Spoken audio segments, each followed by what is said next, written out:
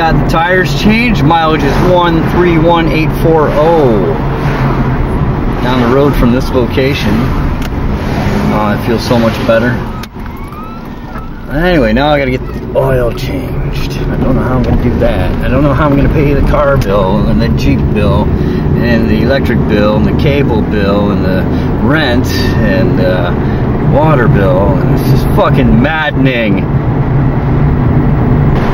Oh yeah, and gas in the car.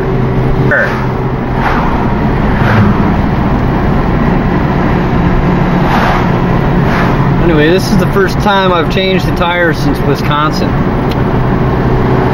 Uh, God, probably well over a year ago. Maybe since 2003. No, maybe 2004. I can't remember. Anyways, I mailed the fine up to Corning so they can get their fucking $100 for 40 and a 30. Fucking asshole.